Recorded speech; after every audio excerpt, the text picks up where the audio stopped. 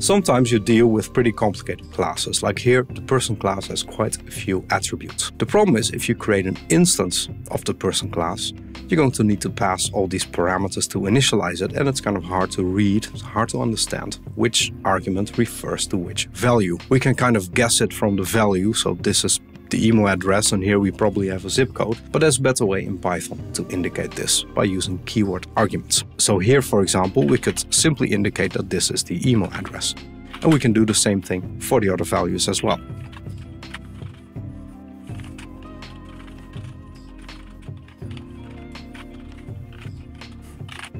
Like so, now if you look at the initialization code, it's much clearer what is what. So, if an initializer, a method or function takes many arguments, use keyword arguments to indicate what is what.